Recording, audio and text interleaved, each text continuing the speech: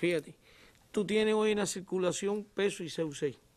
Lo único que ese CUC es equivalente a 24 pesos.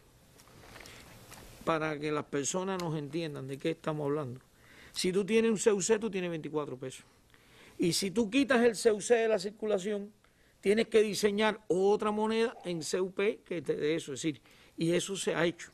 Lo han hecho los compañeros bancos.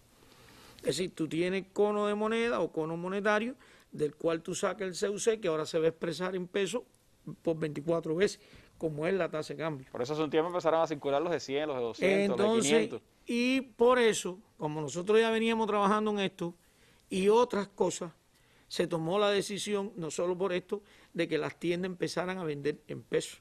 Y no es lo mismo comprarse un equipo en 600 CUC que un equipo, eso multiplicado por 24. Y eso llevó a hacer los, los billetes de alta denominación. Por tanto, el cono monetario ha cambiado. Pero eso no se hace un día para otro. Eso lleva un cálculo técnico, qué moneda yo saco, qué moneda yo pongo. Los billetes esos cuentan, hay, cuestan, hay que, hay que hacerlo.